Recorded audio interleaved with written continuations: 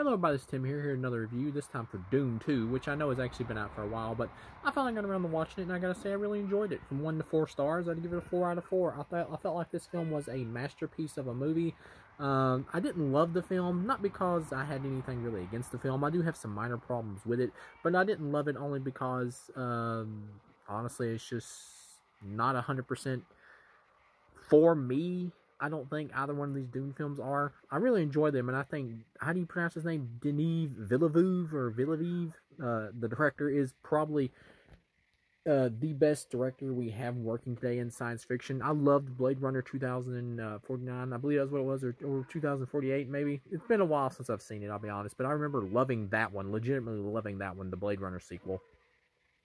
I don't like either one of these Dune movies as much, even though I think this movie Dune 2 is just as good, if not maybe maybe even slightly better than that Blade Runner movie. Uh, but it's I don't connect as much to the characters in either of these Dune films as I did the Blade Runner movie with Ryan Gosling's character. I just I just don't feel it as much. Um, so I'm able to, I was able to like just have more personal investment in that movie than I am with these Dune movies. But I will have to say, I mean, but I will say, Dune one, yeah, I gave it a four out of four. I thought it was awesome. This one, another four out of four. It's even better than the first one in my opinion. This is a masterpiece level film. Um, great shots with the desert and everything. And you got Timothy Chalamet back, uh, who's also in Wonka and Dune one, of course. He does a great job here as well. I believe the actor's name is Asa Butterfield, maybe, uh, who plays like the crazy dude in this with the shaved head and the no eyebrows. He also played Elvis. In the movie, the Elvis movie, he wasn't that great. He was good, he was fine, but he wasn't anything mind-blowing. Here he's really good. He's much better he's much better at playing like this creepy cannibal, like nut job character. Uh, Stellan Skarsgård is back here as the big fat dude. Well, not, uh, yeah, Stellan, I'm Stellan Skarsgård uh, is back as the big 300 pound obese dude or whatever who was a villain in the last one.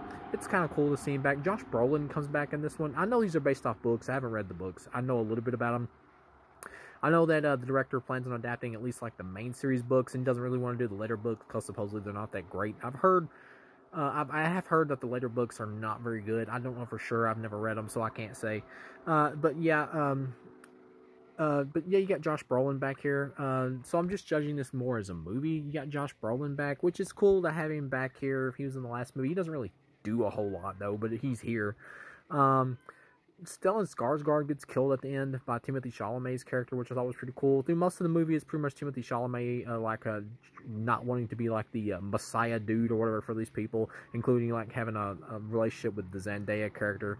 Uh, and they have, they have some, they have, their romance is cliche, like the whole, you know, young love thing, but at the same time, it's well acted, so it made me invested in it, and I like Zendaya's character and how she, like, doesn't buy into, like, all the bullshit of him being, like, the messiah for these people and everything. And then by the end of the movie, he accepts it and goes to get revenge on Stellan Skarsgård. Uh, Christopher Walken in the movie is like the emperor or whatever. It was cool to have him here. I believe he was the emperor. He's like the ruler of everybody. Uh, it was cool to have him here, but he doesn't really get to do a whole lot. But when he is on the screen, he does do a good job. Um, you got Florence Pugh playing his daughter, and once again, she doesn't really do much of anything either. You get to the end of the movie, and uh, of course, uh, Asa Butterfield, which I, once again I believe is the actor's name, has to have a fight with Timothy Chalamet. Really good fight, um, good action. Batista is in the movie, and he doesn't really do a whole lot. His character is just kind of a bitch, which is part of his character. But at the same time, he really doesn't do a whole lot in the movie, but he does do a good job in it. Uh, Batista does acting-wise.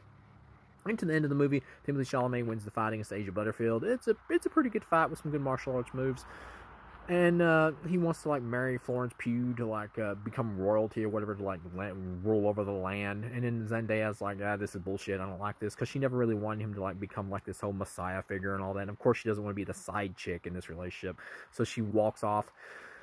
And uh, the movie ends with her like getting ready to ride the worm herself.